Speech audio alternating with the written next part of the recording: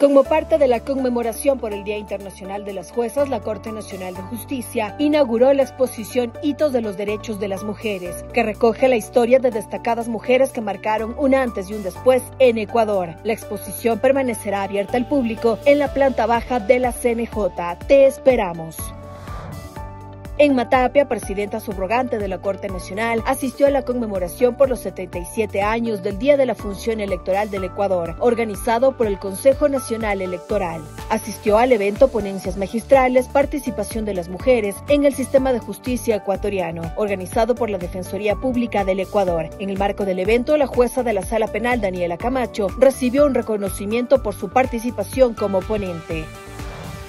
Mercedes Caicedo, jueza de la Sala Penal, participó como delegada de la Corte Nacional de Justicia en el taller para la construcción de la Estrategia Nacional contra la Ciberdelincuencia, que fue organizado por el Ministerio del Interior. Compareció también ante la Comisión Especializada Permanente de Garantías Constitucionales, Derechos Humanos, Derechos Colectivos y la Interculturalidad de la Asamblea Nacional, como parte del tratamiento del informe para primer debate del proyecto de la Ley Orgánica Reformatoria a la Ley Orgánica de Garantías Jurídicas jurisdiccionales y control constitucional.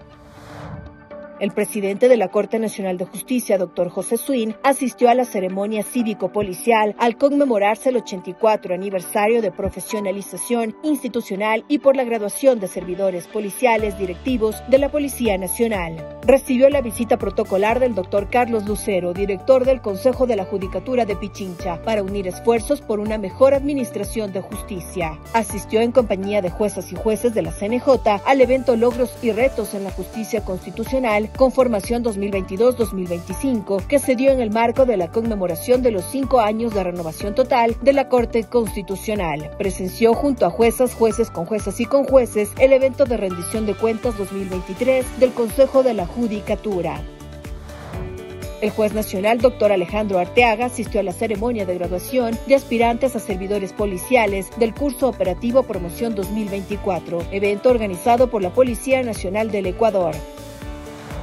Estudiantes de Derecho de la Universidad Internacional del Ecuador visitaron la Corte Nacional de Justicia para aprender sobre las atribuciones que ésta tiene. Dialogaron con la presidenta subrogante en Matapia y con la jueza de la Sala Laboral, Caterine Muñoz. Presenciaron el desarrollo de una audiencia en materia laboral y recibieron una charla en la biblioteca. Ven a la CNJ y forma parte de nuestro programa de visitas guiadas. Corte Nacional de Justicia del Ecuador.